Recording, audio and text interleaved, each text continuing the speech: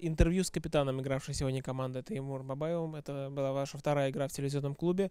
Э, ну и сегодня ваша команда, э, хотя счет э, не, был не в вашу пользу, показала очень яркую игру.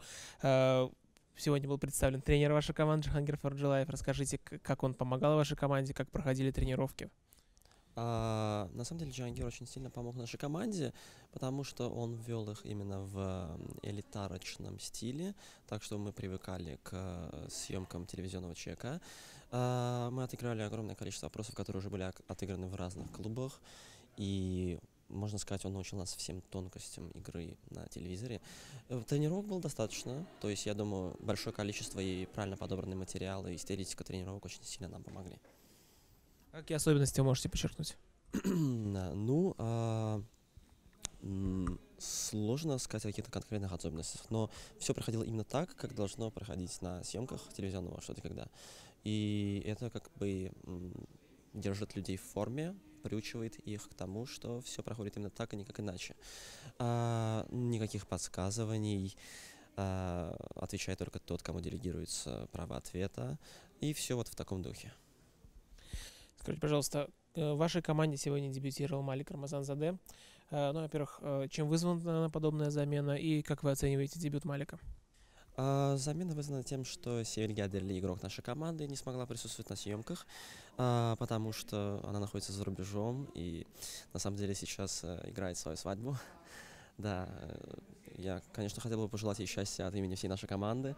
А, а Малика я знаю давно и играю с ним довольно-таки давно в спортивное что где когда. И поэтому я хотел с ним сыграть вместе за столом телевизионного человека. Я считаю, что его дебют однозначно удался.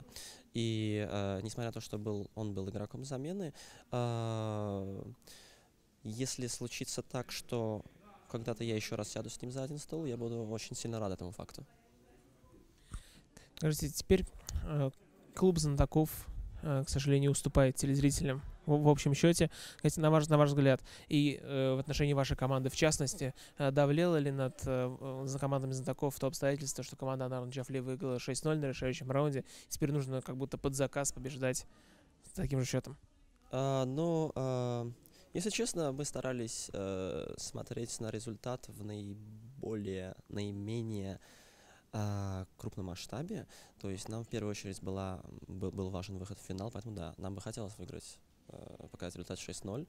А, так что, да, конечно, сейчас очень неприятно, что э, судьба телеклуба немножко в подвешенном состоянии. Э, давлела, да. Ну, тем не менее, как, как вы пытались с этим бороться? А, я думаю, не думать об этом самый лучший вариант просто не задумываться об этом, а отыгрывать каждый вопрос как первый, как будто бы ничего не было. Это значительно повышает шансы на успех, и такой подход, э, я считаю, правильным в любых ситуациях. Э, Таймур, мне остается пожелать вам удачи, у вас сильная команда. Ну, несмотря на поражение, мы, мы э, на предыдущих играх отмечали, что команда Тайр Мусаева шесть раз подряд проиграла, и потом последовалась победная серия теперь. Вот, только они гарантировали себе место э, зимой. Желаю вам удачи, и чтобы следующая ваша игра уже была победой.